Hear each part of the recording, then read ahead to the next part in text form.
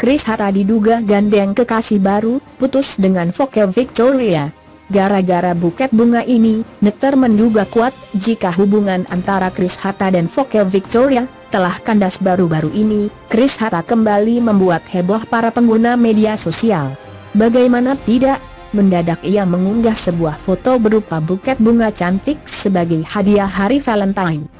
Happy Valentine sayang, maaf banget jika aku sering banget cuek dan hilang, begitu tulisan yang tertera di kartu ucapan. Jika kita sayang sama orang bukan persoalan UTK milikin. Tapi gimana caranya bikin dia happy, tulis Chris Hatta dalam keterangan foto.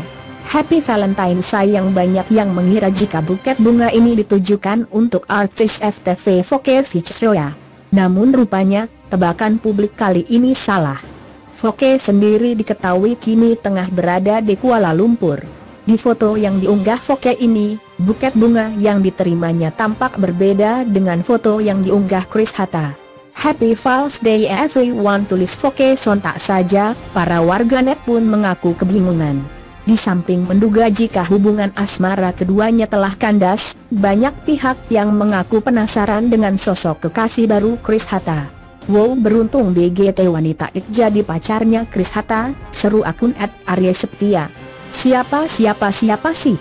Tagdon, orangnya Mas Gans, sahut akun net Dede Januarmi lagi di Malaysia Foke, jelas dua bukan Foke ini so tempe, sementara komentar akun at RCE.